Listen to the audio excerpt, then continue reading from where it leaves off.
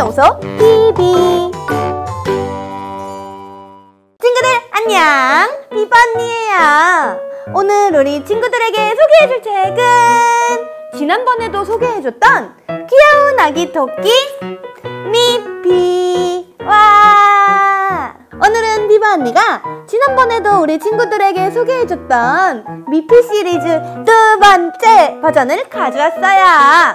이렇게 귀여운 미피북 다섯 권과 같이 들어있는 대왕 포스터 그리고 숫자 인지 카드 이렇게 세 가지나 들어있어요. 그럼 오늘도 어떤 책이 들어있는지 한번 볼게요. 첫 번째로는 누구의 알일까요? 우와 신난다! 유치원에 간 미피 미피야 생일 축하해. 미피의 특별한 생일. 할아버지와 할머니. 마지막으로 동물원에 간 미피. 이렇게 한 권 한 권 표지마다 귀여운 캐릭터가 그려져 있어요. 이 다섯 권 중에 어떤 책을 볼지 오늘도 비용소 상자를 준비했어요. 비용소 상자 나와주세요. 그럼 어떤 걸 읽을지 뽑아볼까요?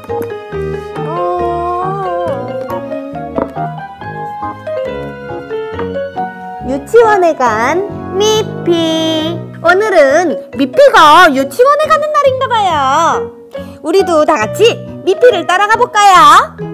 유치원에 간 미피 이른 아침이에요 미피는 벌써 집을 나섰어요 빨간 원피스를 입은 토끼가 미피예요. 미피는 친구들과 함께 유치원에 가요. 선생님도 아침 일찍 나왔어요. 벌써 미피네 교실 문 앞에 서 있었지요. 미피는 선생님을 보자마자 기분이 정말 좋았어요. 선생님의 노란 목걸이가 정말 예뻤거든요.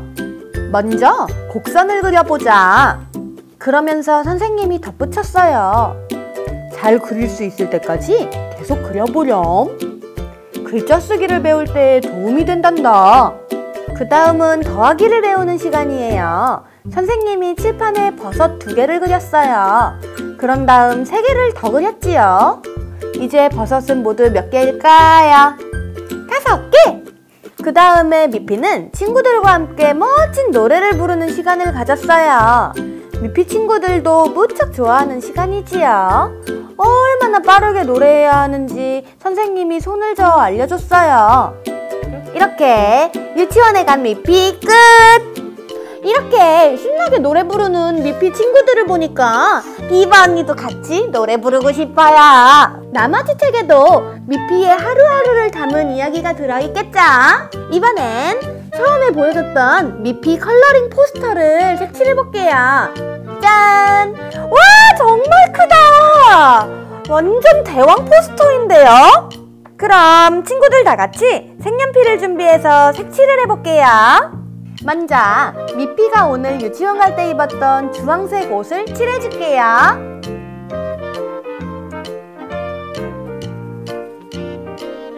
다음은 옆에 기차를 칠해줄게요.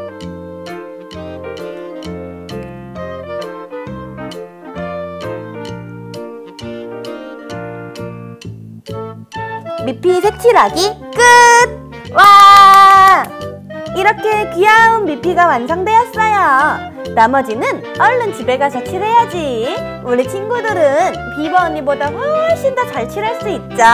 우리 친구들도 귀여운 미피와 함께 일상에서의 소소한 행복을 느껴보는 게 어떨까요? 다음 시간에도 비버 언니가 더욱더 재밌는 책으로 찾아올게요.